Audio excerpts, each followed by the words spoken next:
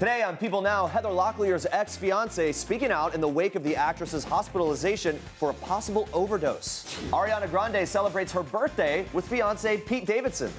Being me is my greatest power. Do you get that? Being you isn't your greatest power. Bachelor alum Caila Quinn is here to help us dig into last night's wild episode of The Bachelorette. And look at him go. This dog has gone viral for showing off his CPR skills. You're going to want to watch this amazing pooch all day. It's all coming up on People Now.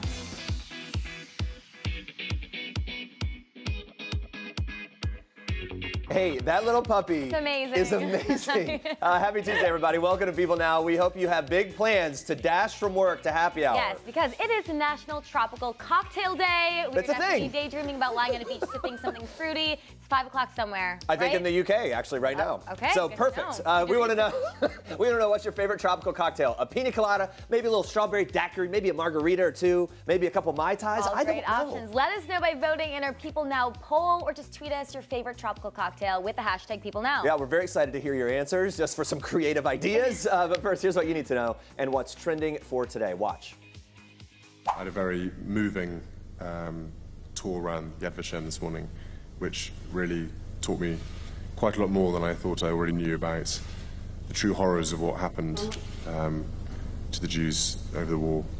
Prince William paid his respects to the six million Jews murdered in the Holocaust during a somber visit to Yad Vashem on Tuesday. The royal spent nearly two hours touring the World Holocaust Remembrance Center in Jerusalem, the first stop on his historic tour of Israel and the disputed territories. He wore a traditional kippah on his head as he laid down a wreath to show his respects. Now, inside the center's Hall of Names, which honors those whose resting place is unknown, Prince William read personal details of those who perished and met with several descendants of Holocaust survivors. He then spent time with Israeli Prime Minister Benjamin Netanyahu and his wife Sarah Netanyahu, telling the royal he must feel very proud that his great grandmother, Princess Alice, saved defenseless Jews by opening the doors of her Grecian palace during the Holocaust. The prince continued his tour by meeting Israeli, uh, um, excuse me, Israel's President Reuven Rivlin at his residence. The royal said that he hoped to learn more about the Middle East and continue to absorb and understand the different issues, cultures, and religions. This is the first official visit to Israel by a senior member of the British royal family. We will keep you posted on this story on people.com.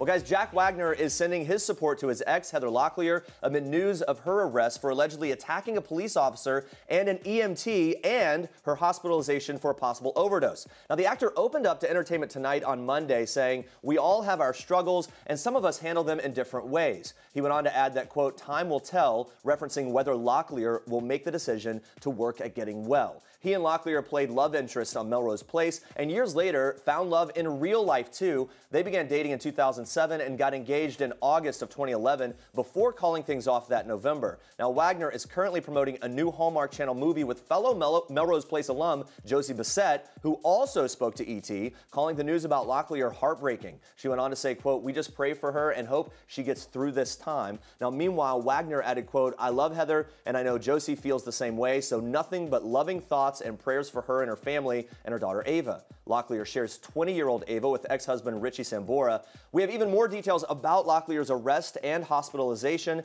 That is coming up in just a bit. Well, guys, The Bachelor creator Mike Fleiss is speaking out after two contestants on his reality series The Proposal made headlines for their alleged sexual misconduct. Now, Fleiss, who created that ABC show, The Proposal, tweeted Sunday morning that he's, quote, horrified that any of these abusive bleeps are on our show. He added, We are working very hard to find ways to do better. That was his quote. Now, ABC canceled its second ever episode of The Proposal after serious allegations were leveled against one of its contestants, Michael J. Friday. Friday was accused by a Wisconsin woman for facilitating her sexual assault in early November. ABC and Warner Horizon Productions exclusively telling people they are taking the allegations very seriously. Now, meanwhile, Bachelorette suitor Lincoln was convicted of indecent assault and battery for groping a woman on a cruise. The guilty verdict came on May 21st, just days before the season premiered. Warner Brothers saying in a statement, quote, no one on the Bachelorette production had any knowledge about the indecent or, or the incident or charges when Lincoln Adim was cast. Guys, stay on people.com for more on this story as it continues to develop. And on a lighter note, we're going to be breaking down last night's episode of The Bachelorette with Caila Quinn, one of our favorites. Nothing is off limits, including that dramatic two on one with Jordan and David. So make sure to stick around for that. Hey guys, listen, if you're feeling a little down and out today, Poncho the dog is here to bring you back to life. Yes, the Madrid Police Department posted this ridiculously adorable video to Twitter. It's showing off their dog Poncho's pretty much pro CPR skills. The caption So is in cute. Spanish. Look at this. The caption's in Spanish, but it roughly translates to quote, heroic performance of our champion Poncho, our companion Poncho, Yeah. who did not hesitate. champion. He's a champion who did not hesitate a moment in saving the life of the agent. Now, the video has over 2.3 million views and counting so far. I could watch this over and over again all day. Honestly, it's so precious. It's also incredible that the dog could actually save lives in that I way. know. I love that. All right, there you go. We'll keep watching it all day. Uh, a little bit later, maybe in the show again. Who knows? Maybe we'll bring it back up. But for now, Star Tracks, CNG. Yes, so we are kicking off Star Tracks today with a sweet surprise from one of our favorite singers. That is right. Selena Gomez spent her Saturday night on the dance floor of the Children's Hospital of Orange County for its 17th annual oncology prom. The singer even posed for pictures with a few of the kids wearing a black polka dot dress with her signature red lip. And the prom is a yearly tradition that focuses on supporting teens aged 14 to 19 who are either cancer survivors or currently undergoing treatment, providing them a space to celebrate their strength and journey with friends and family, which is amazing. Of course, Gomez wasn't the only celebrity who made a special appearance. Watch this. I'm gonna be here dancing my butt off. If anyone wants a high five or a selfie, I'll just be wandering around, and then I'm gonna disappear in a puff of smoke. You heard that right. Jack Black also made an appearance and even took the stage to teach the kids a few of his own signature moves. Very fun. A few Grey's Anatomy cast members, including Sarah Drew and Kevin McKidd, joined the festivities and spent the evening taking photos with all the kids on the dance floor. What a wonderful night.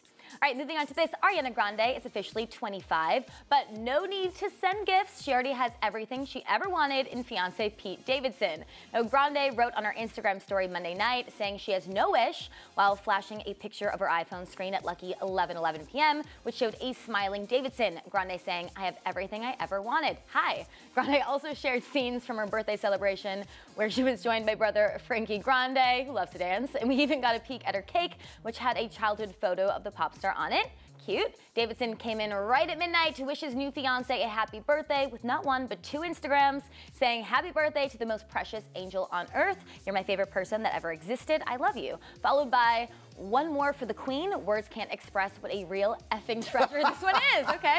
And to anyone questioning the lightning fast engagement, Grande took Arianators to task on social media for their negativity towards her new love. In one Instagram comment, she addressed a fan who claimed that Pete Davidson raised a middle finger towards Grande's loyal fans in a recent paparazzi photo. She says, Are you nuts? Stop with this, please, for real. I love y'all too much for this. Enough with the IG Twitter war thing. It ends now. Well, good for you, Ariana, and happy birthday. Those are your Star Tracks for today. They can control the situation. I Yeah. like that. Stay with us, guys. Jimmy Fallon taking aim at President Trump in his Tonight Show monologue. We have all the details on that. Plus, sparks were flying on Monday night's The Bachelorette. We're breaking down everything you missed. That is in just a few minutes. Okay, but first, our question of the day is in honor of Tropical Cocktail Day. We went out on the streets of New York to find out what tropical drinks people are into. Take a look at this. the pina colada because it's uh, because I love cocoa and uh, and yeah, it's very tropical uh, and exotic, and we don't have that in Switzerland. So Well, I'm not really a tropical cocktail guy, but I do like a smooth Manhattan drink. My favorite cocktail is Sex on the Beach because uh, I love Sex on the Beach. My favorite tropical cocktail is a pina colada, and that is because it's just so light and refreshing. It's delicious. Ooh, pina colada, obviously. Um, because what's better than a lime and a coconut? Okay, Pina Colada, obviously a favorite there for people all over the world. Yeah. All right, vote for your favorite tropical cocktail in our People Now poll. We will show the results in a little bit, but now we move on to this. When I saw that Trump insulted me on Twitter, I was going to tweet back immediately, but I thought I have more important things to do. then I thought, wait, shouldn't he have more important things to do? He's, he's the president of you. What are you doing? You're president. Yeah, that's Jimmy Fallon taking a jab at President Donald Trump during his Tonight Show monologue on Monday night. Now, in case you missed it, the drama all started when Jimmy revealed on a Hollywood Reporter Awards Chatter podcast that he regrets how he handled Trump's infamous Tonight Show appearance on September 15th, 2016. Yeah, so we all remember that interview. Trump was the Republican presidential nominee back then. They laughed, they joked around. Jimmy even tousled Trump's hair to address those rumors that Trump wears a wig. Now, Jimmy ended up getting a lot of backlash after that segment aired. Some people even accused him of letting Trump dodge hard hitting questions about his campaign and of normalizing Trump for voters who were still on the fence about him. Yeah, in the podcast, Jimmy gets a little choked up as he apologizes profusely and admits the fallout from that interview even made him feel depressed. He goes on to call Trump's appearance a mistake, and he says, looking back, that he would definitely do it differently. Yeah, in response to Jimmy's comments, Trump slammed him via Twitter on Sunday, writing in part, quote, be a man, Jimmy. The next day, Fallon clapped back, promising to donate to a Texas based immigration services nonprofit in Trump's name. Now, obviously, a reference there to Trump's controversial zero tolerance policy on migrant families. Yeah, in Monday's monologue, Jimmy went on to make a few more jokes at the president's expense and gave a shout out to First Lady Melania, saying, quote, I don't think your anti bullying campaign is working. Jimmy also saying how crazy it was that the president went after him on Twitter, calling it pretty much the only thing he said I have in common with NFL players. Yeah, so moving on to this, we are talking about everything we know about Heather Locklear's arrest and hospitalization as it stands right now. All right, now follow this story. Locklear was hospitalized on Monday just hours after she was released from jail. A source confirmed to people that paramedics were called to the actress's home to treat the 56 year old for a possible overdose. A spokesperson for the Ventura County Sheriff's Office tells people that deputies and EMTs responded to a medical call at Locklear's home at about 3 p.m. on Monday. The patient, who the spokesperson did not identify, was then transported to the hospital. Now, just a few hours before that, on Monday morning, Locklear was released from custody after being arrested for allegedly attacking a police officer and an EMT. Those authorities had responded to a disturbance call at a residence a little after 11 p.m. on Sunday night. Yeah, the sheriff's office says Locklear was allegedly extremely intoxicated and arguing with friends and family when they arrived. As deputies tried to separate her, she kicked a responding officer. She also allegedly kicked a paramedic in the upper chest area while on a gurney and was booked for two misdemeanor counts of battery. Now, all this is according to statements from the sheriff's office spokesperson. Now, upon her release from jail, the actress was accompanied by her attorney and wore an oversized gray hoodie with baggy pajama pants and sneakers. She didn't respond to, to questions uh, from reporters at the scene, but a jail official says that she looked disheveled as she left. Yeah, all this comes after first responders were dispatched to Locklear's home last week, responding to a call from the sheriff's office for a quote suicidal person who was violent. Yeah, an incident report obtained by People indicated that the individual who was identified by TMZ as Locklear had previously threatened to shoot deputies and had a handgun registered to her. Now, authorities said the individual was not armed at the time. Following that incident, Locklear was transported to a hospital for a psychological evaluation and was released. Love is the greatest power on earth. Being me is my greatest power. Do you get that? Being you isn't your greatest power. That's why you gotta talk about me. You have, though. Do you understand that? You've talked about. I've talked about four- what? Tell me what I've talked about. about. Your 4,000 Tinder matches. You've Uh-huh. talked about the girls that you would rather date. Talked I, about. I expect you to stick to your story, but it's all fabricated. It's all manipulated. You came in here saying you want to be an honest guy. I am, Be an honest guy, man. I'm an Like, honest, I- genuine person. You honestly, you're you're You know uninspiring. I- you lack integrity. You lack passion. You lack charisma. You lack your own personality. Go in the real world and go make a name for yourself before you come to try to ride mine. Okay? Off. I'm such an honest person, and look, I called you out for the. You're worse than you. Arie, dude. You're worse than Arie.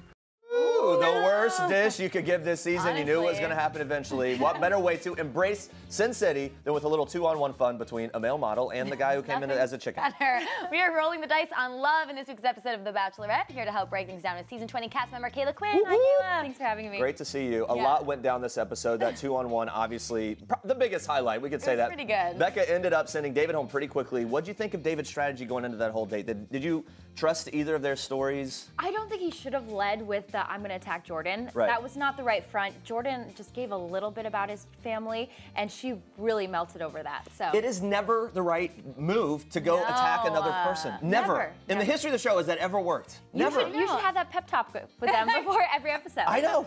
I know. And a few hours later, Jordan was sent home, and I was crushed because I, Jordan's my favorite Yeah, like, no, right. person of all time. I Like watching this show. I had a tear emoji. He's so funny and like ridiculous. What are you gonna miss most about Jordan? I'm gonna miss his uh, model poses and all of his fashion tips because Golden honestly, undies. I think that some of them are actually good.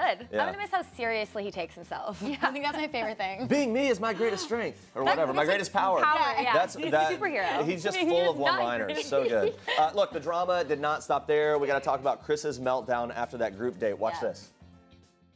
I got rejected. I feel like I was left alone, and I'm embarrassed. I feel like there was no interest there. Dude, I'm actually shocked, to be honest with you. My theory is, is if you want something, you'll make time for it. And so, just shows that um, I'm going home this week. So, That's a pretty drastic comment. If you want to believe that you're gonna go home, then you can believe you want to go home. But I don't have a rose on my chest either. So this felt like a meltdown to me. I don't know about you, Caila. Yeah. He's very cocky. He didn't even try to steal one on one time. I mean, you've been there. Do you sympathize with him and him feeling very comfortable? I mean, or do you think he's like a loose cannon and maybe emotionally unstable like Garrett says? I can sympathize with him, but he can honestly, he should actually just hold it in. He was so insecure and it really showed tonight. And the thing is, you just have to be calm and cool. There were some nights that I didn't talk to my lead and I didn't make a big deal about it, but he's just having a temper tantrum and it's really self destructive. Yeah, he does attempt to, though, at least make up for his mistakes after Rebecca makes it very clear that she does not want a flimsy partner, which was kind of funny. But of course, get ready for a pun. When Okay. there's a Wills, there's not always a way. I really like that fun. Oh. You had your time tonight. I'd like to have my time as well. Wills, can I please have some? I gave you two minutes, man. I understand that. I'm gonna ask you politely to get up, please. Wills, I can't get like a couple more minutes. No. I'll come find you. I'll come talk to you in a bit.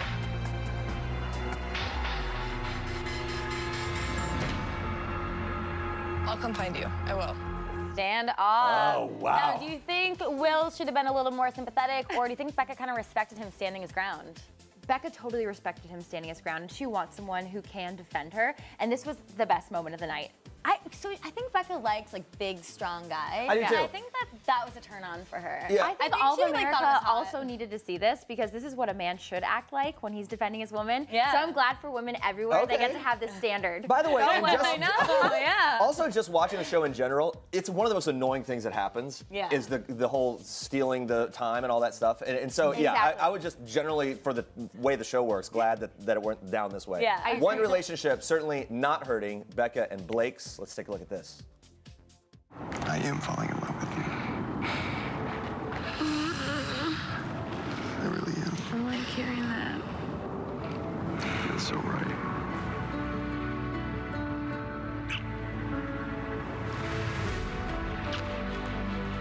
I'm feeling like the happiest girl in the world. Such a complete 180 from the last group date.